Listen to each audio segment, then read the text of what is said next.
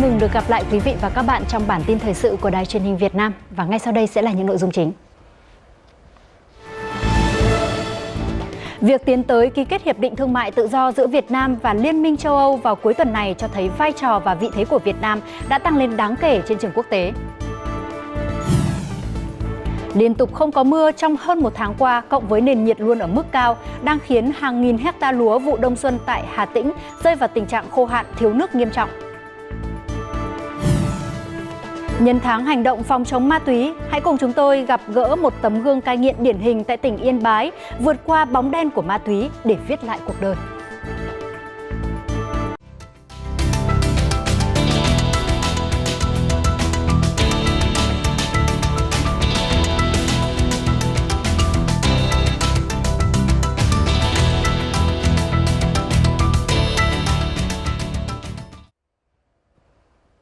Quý vị, vào cuối tuần này, Cao ủy Thương mại châu Âu và Bộ trưởng Ngoại giao Thương mại Romania sẽ tới Hà Nội ký Hiệp định Thương mại Tự do và Hiệp định Bảo hộ Đầu tư giữa Liên minh châu Âu EU với Việt Nam. Trong khu vực ASEAN, Việt Nam là nước thứ hai sau Singapore ký hiệp định thương mại tự do với EU. Và theo tính toán của Bộ Kế hoạch và Đầu tư, hiệp định này sẽ giúp kinh ngạch xuất khẩu của Việt Nam sang EU tăng thêm khoảng từ 20 đến 44% trong thời gian tới. Và điểm đáng chú ý nhất là gần như 100% hàng hóa xuất khẩu của Việt Nam sang EU sẽ được xóa bỏ thuế nhập khẩu chỉ sau một thời gian ngắn. Trong nhóm hàng xuất khẩu chủ lực của Việt Nam sang EU, nhiều mặt hàng như dệt may, da dày, thủy sản, gỗ, điện thoại và linh kiện sẽ được xóa bỏ thuế quan ngay sau khi hiệp định có hiệu lực. Bản thân các doanh nghiệp cũng như là uh, cơ quan quản lý nhà nước cũng phải hoàn thiện được cái năng lực để mà hội nhập vào trong cái quá trình thế thì rõ ràng chúng ta sẽ nâng cao được cái năng lực nội tại của chúng ta rất là nhiều. Vấn đề cần quan tâm là quy tắc xuất xứ để hưởng lợi từ hiệp định. Thực phẩm cũng là một lĩnh vực hứa hẹn được đẩy mạnh, đi kèm là chất lượng. EU có một tiêu chuẩn chung, do đó mà khi thỏa mãn được thì Việt Nam có thể tiếp cận được rất nhiều quốc gia. Với gần như 100% dòng thuế được xóa bỏ, nên EVFTA là mức cam kết cao nhất mà một đối tác dành cho Việt Nam trong các hiệp định thương mại tự do đã được ký kết. Và đây cũng là hiệp định toàn diện nhất từ trước đến nay, trải rộng từ thương mại, hàng hóa, dịch vụ đầu tư, mua sắm chính phủ cho đến phòng vệ thương mại. Tôi tin Việt Nam có thể hoàn toàn trở thành trung tâm thương mại cho ASEAN. Lợi thế của Việt Nam là thị trường mới nổi duy nhất trong ASEAN có FTA với EU. Khác với Singapore cũng có FTA với EU, nhưng đã là một nước phát triển. Việt Nam có nhiều tiềm năng tăng cường cạnh tranh khi có mối quan hệ thương mại và đầu tư với Liên minh châu Âu. Nhà đầu tư từ các nước châu Âu nhìn vào Việt Nam không chỉ nhìn với một thị trường 94 à, triệu dân, 95 triệu dân, mà ta đang nhìn vào thị trường có gần 700 triệu dân. Cụ thể là với sự à, ra đời và vận hành của cộng đồng kinh tế ASEAN thì rõ ràng đây là một khu vực được đánh giá là năng động, là hấp dẫn. Theo ước tính của Bộ Kế hoạch và Đầu tư, Hiệp định này sẽ giúp GDP của Việt Nam tăng thêm bình quân từ hơn 2% đến trên 3% giai đoạn từ nay đến năm 2023 và tăng thêm trên 7% đến năm 2033. Tương xứng với những gì phía bạn mở cửa thì Việt Nam cũng sẽ phải đưa ra những cam kết xóa bỏ về thuế quan hay là dỡ bỏ những hạn chế đầu tư cho các doanh nghiệp EU. Chính vì vậy, hiệp định EVFTA cũng sẽ là cơ hội đầu tư kinh doanh lớn cho các doanh nghiệp cũng như là người dân EU. Và sau đây là ghi nhận của nhóm phóng viên thường trú Đài truyền hình Việt Nam tại châu Âu. Hiệp định thương mại tự do và hiệp định bảo hộ đầu tư là những hiệp định thế hệ mới, không chỉ đơn thuần về thương mại đầu tư mà còn dùng đòn bẩy thương mại đầu tư để thúc đẩy hợp tác trong nhiều lĩnh vực khác. Với Liên minh châu Âu, hai hiệp định sắp ký với Việt Nam còn là cam kết chính trị với một đối tác đáng tin cậy, như lãnh đạo châu Âu nhiều lần tuyên bố. Hai hiệp định thể hiện cam kết mạnh mẽ của chúng tôi đối với Việt Nam. Những hiệp định này quan trọng vì nhiều lý do. Trước hết là giúp châu Âu tăng đầu tư, tạo thêm việc làm, thúc đẩy thương mại với một trong những nền kinh tế năng động nhất châu Á. Các công ty châu Âu thì sẽ được ưu tiên tiếp cận thị trường đang phát triển nhanh chóng của Việt Nam. Các nhà xuất khẩu Việt Nam cũng dễ tiếp cận châu Âu hơn. Khi hiệp định có hiệu lực, 99% thuế quan sẽ được dỡ bỏ dần dần theo một lộ trình kéo dài từ 7 đến 10 năm. Ngoài lợi ích kinh tế, hiệp định thương mại tự do này cũng đảm bảo rằng thương mại và đầu tư luôn song hành với phát triển bền vững bằng cách thiết lập các tiêu chuẩn cao nhất bảo vệ người lao động, bảo vệ người tiêu dùng và bảo vệ môi trường. Đây là những cái hiệp định thương mại đầu tư thế hệ mới đầu tiên mà EU đạt được với một nước đang phát triển có mức thu nhập trung bình. Hai hiệp định này à, sau khi được hai bên ký và phê chuẩn sẽ mang lại lợi ích to lớn cho cả Việt Nam và EU vì các sản phẩm kinh tế của hai bên không hề mang tính cạnh tranh nhau mà trái lại có tính bổ sung hỗ trợ cho nhau. Quá trình từ khi khởi động đàm phán đến khi chuẩn bị đặt bút ký kéo dài 7 năm và đã sắp tới đích. Sau khi ký kết thì hai hiệp định sẽ còn phải được Quốc hội Việt Nam và Nghị viện châu Âu phê chuẩn. Nếu mọi việc suôn sẻ, hiệp định thương mại tự do có thể được thông qua vào cuối năm nay hoặc đầu năm sau. Còn hiệp định bảo hộ đầu tư cần nhiều thời gian hơn, có thể tới 2 năm nữa, do cần thêm phê chuẩn của Quốc hội 28 nước thành viên Liên minh châu Âu. Lê Hồng Quang, phóng viên truyền hình Việt Nam từ châu Âu. Không chỉ có ý nghĩa về mặt kinh tế, việc tiến tới ký kết hiệp định thương mại tự do giữa Việt Nam và EU vào cuối tuần này cũng cho thấy vai trò và vị thế của Việt Nam đã tăng lên đáng kể trên trường quốc tế. Châu Âu là nhà đầu tư lớn nhất thế giới, nên việc lựa chọn một thị trường năng động và đối tác là rất quan trọng với chúng tôi. Việt Nam là một đối tác lớn trong khu vực và đây là nền tảng để chúng tôi tiếp tục có quan hệ đối tác với toàn bộ khu vực ASEAN trong tương lai. Việt Nam là điểm đến đầu tư, mở cửa ra thế giới và hướng tới những tiêu chuẩn thế giới, trong đó bao gồm an toàn, bền vững, thân thiện với môi trường. Điều này không chỉ có lợi cho người tiêu dùng Việt Nam, mà đây còn là tiêu chuẩn để sản phẩm có thể xuất khẩu ra nước ngoài, trong đó có EU. Các doanh nghiệp nhìn chung muốn có một tầm nhìn dài hạn để lên kế hoạch đầu tư. Việt Việt Nam do đó nếu muốn tận dụng tối đa lợi ích của hiệp định thì cần có lộ trình đúng như đàm phán và minh bạch. Cái mặt hàng về mặt đóng gói chẳng hạn thì nó phải ở bằng những cái thứ nhựa hoặc những cái thứ bao bì mà không gây ô nhiễm môi trường à, những cái mặt hàng sản phẩm như tôm hay là sản phẩm thủy sản à, thì cái dư lượng tồn dư chất kháng sinh trong con tôm nó phải ở cái ngưỡng thấp nhưng để bán hàng nó chạy nó còn có những cái có những cái nó gọi là tiêu chuẩn tự nguyện bổ sung với những cái mặt hàng mà tương đồng như vậy thì Việt Nam sẽ có lợi thế rất lớn khi mà họ xuất khẩu hàng sang châu Âu một khi hiệp định tự do mậu dịch đi vào hiệu lực. Kết quả có được ngày hôm nay là sự nỗ lực đàm phán qua rất nhiều năm của cả phía EU và Việt Nam. Tuy nhiên, kết quả này sẽ phát huy tối đa hiệu quả của nó nếu như các doanh nghiệp Việt Nam tận dụng được các ưu đãi trong hiệp định. Và cần nhấn mạnh điều này bởi theo điều tra mới đây của Phòng Thương mại và Công nghiệp Việt Nam thì hiện có tới hơn 2 phần 3 doanh nghiệp không biết hoặc là lần đầu tiên nghe nói về Hiệp định Thương mại Tự do Việt Nam Liên minh châu Âu. Do vậy, rất khó để tận dụng được cơ hội khi thiếu thông tin, nhất là khi thời gian để chuẩn bị cho việc mở cửa thị trường theo cam kết không còn nhiều.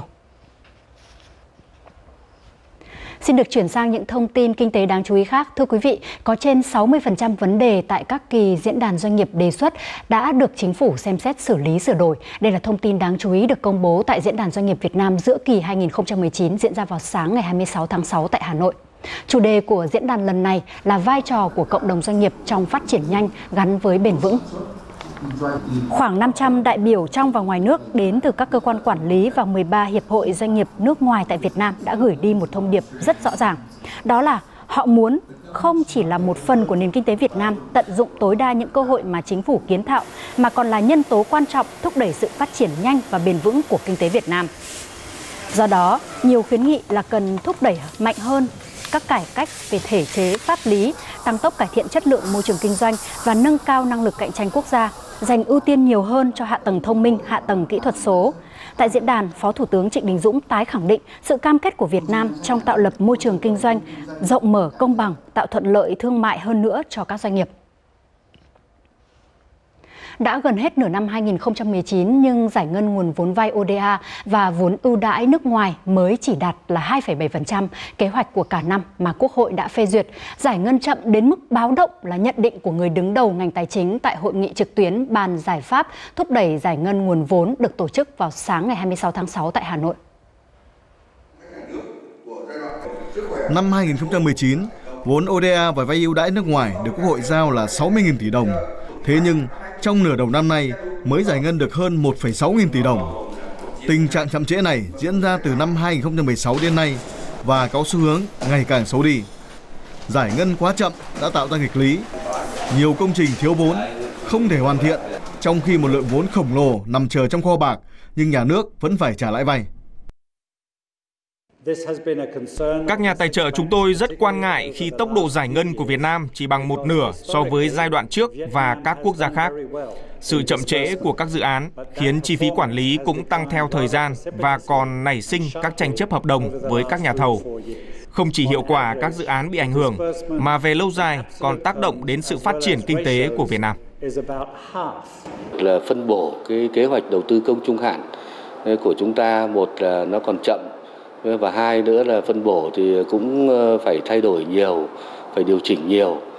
Ờ, bên cạnh đó thì cái việc là công tác dự toán của vốn đầu tư từ cái nguồn vốn vay ODA và vay ưu đãi của chúng ta thì cũng chưa được triển khai một cách kịp thời. Chính vì vậy cho nên là có nhiều dự án là thiếu cái nguồn vốn để mà có cái giải ngân. Đại diện nhiều bộ ngành và địa phương cho rằng trong thời gian tới cần khẩn trương ban hành nghị định mới về quản lý vốn ODA và vốn vay ưu đãi theo hướng thông thoáng hơn để nguồn lực quan trọng này được đưa vào đầu tư phát triển, góp phần thúc đẩy tăng trưởng kinh tế và thực hiện các nhiệm vụ an sinh xã hội. Trong phần tiếp theo của bản tin, Ngày Quốc tế và Ngày Toàn dân phòng chống ma túy năm nay chọn chủ đề Hãy suy nghĩ trước khi bắt đầu. Và đây là lời cảnh tỉnh tới các bạn trẻ về tác hại của ma túy gây ra cho con người. Một không gian âm nhạc độc đáo với sự hòa quyện, giao thoa và cộng hưởng giữa hai nền âm nhạc bản địa Việt Nam và Scotland đã được công diễn tại tỉnh Quảng Nam. Thưa quý vị, liên tục không có mưa trong hơn một tháng qua, cộng với nền nhiệt luôn ở mức cao nhất cả nước là từ 38 đến 43 độ C, đang khiến cho hàng nghìn hecta lúa vụ đông xuân tại tỉnh Hà Tĩnh đã rơi vào tình trạng khô hạn, thiếu nước nghiêm trọng.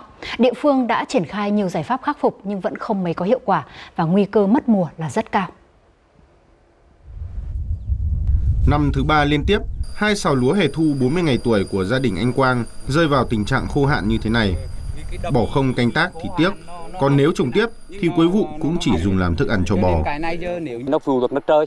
Tầm mưa xuống một cái thì nó tới lại tới lại thì người dân chỉ cho trâu bò ăn thôi. Là vì lúa đã đến 40 ngày rồi mà nó bị khô hạn, nó cái cây nó thế này như cây mà mới chừng khoảng 15 ngày tuổi. Nếu 5 ngày nữa trời không có mưa, ít nhất hơn 200 hecta lúa trên địa bàn hai huyện Hương Khê và Hương Sơn sẽ mất trắng. Ngành nông nghiệp địa phương nhiều năm qua đã tính các phương án chuyển đổi cơ cấu cây trồng cho khu vực này, nhưng do nguồn cung cấp nước thấp nên đây là công việc rất khó khăn. À, ở thời điểm hiện tại như quý vị các bạn có thể thấy thì nước đang rất cạn. Tuy nhiên hai tháng nữa thôi khi đến mùa mưa à, thì à, với trữ lượng thấp nên tình trạng ngập lụt có thể xảy ra và đây chính là một nguyên nhân khiến việc chuyển đổi cây trồng ở địa phương này gặp rất nhiều khó khăn. Giờ hạn đang ở đỉnh điểm, nhưng vào mùa mưa từ tháng 7 đến tháng 10 thì ngập lụt thường kéo dài nên không có cây trồng nào có thể thích nghi được. Chỉ đạo về chi cục thủy lợi phối hợp với các địa phương và công ty thủy nông ra soát lại để tiến hành tới khoa học tiết kiệm trong điều kiện một cái tình huống xấu tức là nắng nóng vẫn còn tiếp tục kéo dài. Tôi đề nghị phía địa phương một mặt song song là phần cải tạo cái hệ thống hồ thủy điện hồ hồ chứa nước, đặc biệt là các hồ chứa nước nhỏ nạo vét các kênh mương, hệ thống dẫn, chặn các dòng nước để tích lũy nước. Hà Tĩnh hiện có hơn 340 hồ chứa lớn nhỏ, tuy nhiên một nửa trong số đó đang ở mực nước thấp dưới 40%, nhiều hồ xuống mức cạn kiệt. Giờ những người dân như ông Quang đã không còn hy vọng gì về lúa hè thu và điều ông lo lắng hơn cả là vào lúc này tìm đâu ra nước sinh hoạt nếu 10 ngày nữa trời không có mưa. Nghiên cứu vaccine phòng dịch tả lợn châu Phi đang có bước tiến tích cực. Đây là đánh giá của Bộ Nông nghiệp và Phát triển Nông thôn với các tỉnh thành phía Nam và các đơn vị nghiên cứu sản xuất vaccine trong buổi khảo sát vào sáng ngày 26 tháng 6 tại tỉnh Bình Dương. Theo đó, tri cục Thú y vùng 6 thuộc Bộ Nông nghiệp và Phát triển Nông thôn đã phối hợp với Công ty Cổ phần Thuốc Thú y Trung ương Navetco để tiến hành nghiên cứu vaccine phòng dịch tả lợn châu Phi.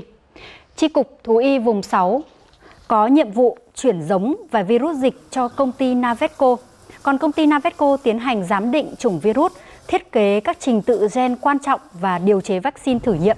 Bước đầu đơn vị này đã chế xong chế phẩm virus DTH châu Phi để lây nhiễm cho gà, chế kháng thể phòng trị bệnh và hiện các chế phẩm đã được gửi đi nước ngoài để tiếp tục đánh giá thêm.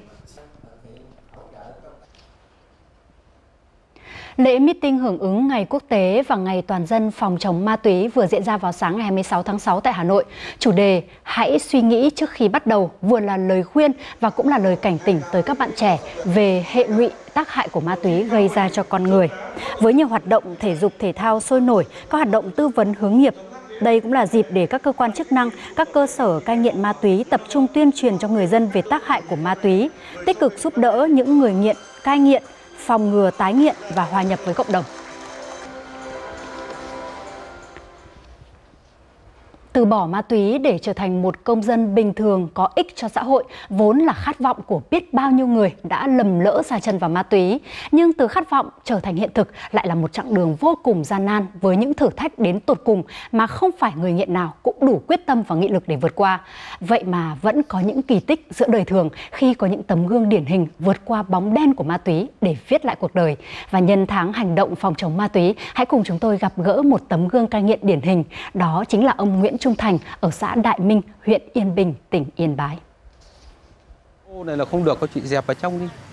Đây này cái đừng có bày hàng bán ra ngoài này, mất an toàn giao thông. Hẳn vào trong. Người đàn ông này đã có 17 năm nghiện ma túy. 17 năm đó, ma túy đã phủ lên cuộc đời ông một bóng đen đầy ám ảnh. Nghiện thì mình à, tìm mọi cách để mà mà mà kiếm thuốc mà mà mà dùng thế nên là tổn hại đến tất cả mọi cái kể cả từ kinh tế về danh dự con người. Thế rồi tôi à, uh, lệnh rồi bán thuốc viện có nghĩa là mình còn mang cả cái cái tội. Người lúc nào nó cũng yếu mệt đầu óc ấy, nó cũng nhiều lúc là không nó không minh mẫn được. Năm 2006, sau nhiều lần tái nghiện, bị đưa đi cai nghiện bắt buộc và cả thi hành án về ma túy, ông Thành đã được chính quyền địa phương và gia đình bảo lãnh về cai nghiện tại nhà bị sốc khi mẹ mất, vợ bỏ. Ông Thành quyết bằng ý chí của mình để cai nghiện. Tuy nhiên, với ông, lý do cốt yếu để cai được nghiện lại chính từ sự tin cậy của chính quyền và thôn xóm.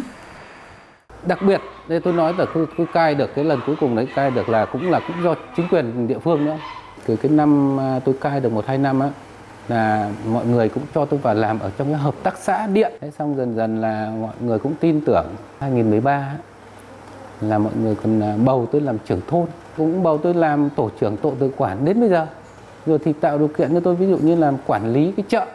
Đấy cái đấy là một cách cũng tạo công ăn việc làm đấy, để cho mình ổn định có việc làm là mới cũng có ý thức trong cuộc sống hơn. Thế nên là tôi cũng rất là là cảm ơn mọi người anh ấy là người đã hoàn toàn là cai nghiện được nhiều năm rồi. Vì trước đây là tôi chúng tôi chưa về ở với nhau ấy thì à, cũng là hàng xóm ở gần nhà anh ấy. Từ lúc anh ấy còn nghiện tôi cũng biết mà khi mà anh từ khi anh cai được rồi là tôi cũng biết được ấy. Nên tôi đã tin tưởng à, tuyệt đối với anh ấy. Cả xã này cũng chỉ có một trường hợp cai nghiện thành công như anh Thành nhưng mà rất là ít. Mà đấy là không phải là do uh, xã hội uh, cai hộ mà là toàn anh tự quyết tâm cai một mình ở trong uh, nhà cộng với là anh em trong ờ, gia đình và hàng xóm. Đây là mô hình điểm để nhân rộng ờ, vận động các cái đối tượng nghiện ma túy khác. Đấy đây là một cái tấm gương để vận dụng vào bản thân mình để vươn lên thoát khỏi cái cái, cái cơn nghiện để cai nghiện thành công. Đối với tôi bây giờ niềm hạnh phúc là hai vợ chồng được chăm sóc cháu ngoại, cũng là cái niềm vui lớn nhất của tôi. Nói thật là tôi cũng tự hào về chính bản thân mình là đã cố gắng để vượt qua được cái khó khăn đấy, từ bỏ được ma túy thế nên tôi cũng muốn là, là để cho mọi người giống như tôi những người mà đã nghiện ngập rồi là cũng biết được như thế mình quyết tâm cai cai được thì sẽ rồi dần dần sẽ mình sẽ lại có tất cả. Thưa quý vị, tre, trúc, nứa là nguyên liệu rất phổ biến ở Việt Nam được dùng để làm ra các vật dụng quen thuộc như là đũa, rổ giá, chiếu, mành. Trước vấn nạn rác thải nhựa và hưởng ứng phong trào nói không với ống hút nhựa, một chàng trai trẻ đã sử dụng nguyên liệu tre nứa của Việt Nam để làm ra những chiếc ống hút thân thiện với môi trường. Và điều đặc biệt là những chiếc ống hút tre của anh hiện đã có mặt ở nhiều quốc gia và vùng lãnh thổ trên thế giới. Được làm từ tre, trúc, nứa của Việt Nam và có mặt ở nhiều quốc gia và vùng lãnh thổ trên thế giới như Mỹ, Pháp, Đức, Ấn Độ, Đài Loan Trung Quốc, vân vân. 100% sản xuất từ tự nhiên và không sử dụng hóa chất, thân thiện với môi trường và an toàn cho sức khỏe. Những chiếc ống hút đặc biệt này là sản phẩm của anh Nguyễn Văn Mão, nguyên chủ nhiệm câu lạc bộ sáo trúc miền Bắc, người đã có gần 10 năm kinh nghiệm về nguyên liệu tre trúc. và từng bước xây dựng thương hiệu sản phẩm ống hút tre Việt Nam từ cách đây 2 năm. Những cái cây lửa nhỏ như thế thì tôi đã tiếp xúc rất là nhiều rồi nhưng mà lúc đấy không nghĩ nó để làm cái gì cả. Chính là cái phong trào ống, ống hút nhựa đã được à, lan tỏa trên toàn thế giới và mọi người cũng chưa biết cái vật dùng gì để thay thế mà có thể bảo vệ môi trường được thì ống hút tre chính là một cái lợi thế. Mặc dù mới đưa sản phẩm ống hút tre ra thị trường lần đầu tiên vào tháng 2 năm nay, nhưng tới thời điểm hiện tại, Nguyễn Văn Mão đã mở 3 xưởng sản xuất ống hút tre ở Hà Nội, Gia Lai và Đồng Nai, cung cấp cho thị trường trong nước và nước ngoài khoảng 6 triệu chiếc ống hút mỗi tháng. Khách hàng hiện tại bây giờ thì đa phần nhiều thì là những cái công ty xúc tiến thương mại và những bàn bạn là làm xuất khẩu.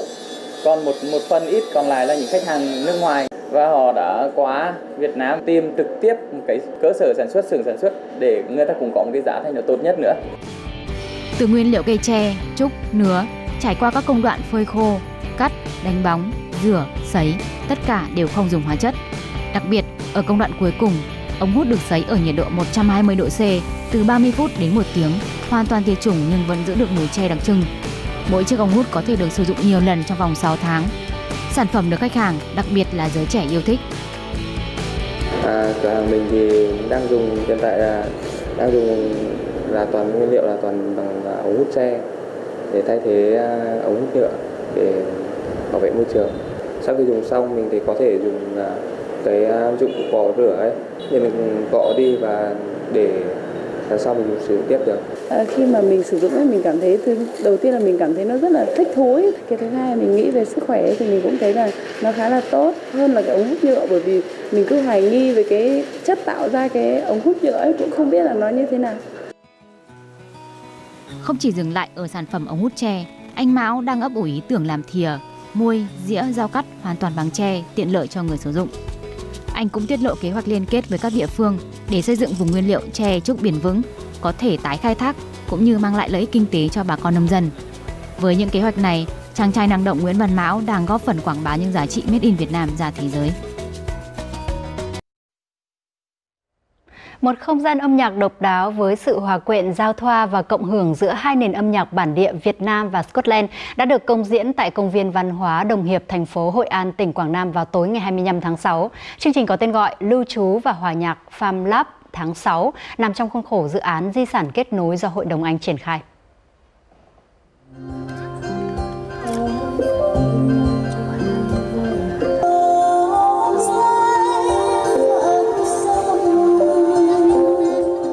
Trú và hòa nhạc Farm Lab là sự tổng hòa đầy nghệ thuật giữa âm nhạc bản địa đến từ Tây Bắc, Tây Nguyên, Nam Trung Bộ của Việt Nam với âm hưởng dân gian Scotland qua sự tham gia của ba nghệ sĩ đương đại sử dụng nhạc cụ truyền thống là trống boran, đàn hát và kèn túi.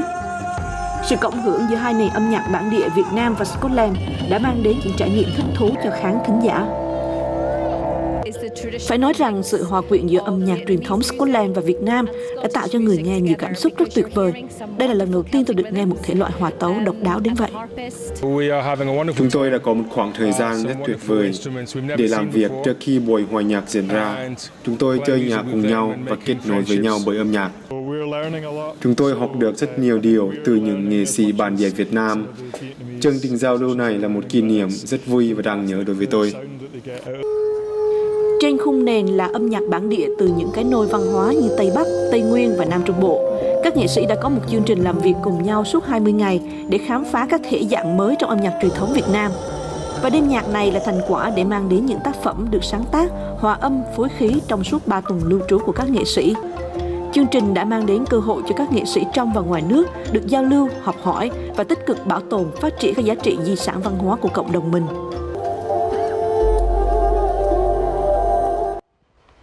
Thông tin vừa rồi cũng đã khép lại bản tin thời sự hôm nay của chúng tôi. Cảm ơn sự quan tâm theo dõi của quý vị và các bạn. Xin kính chào tạm biệt và hẹn gặp lại.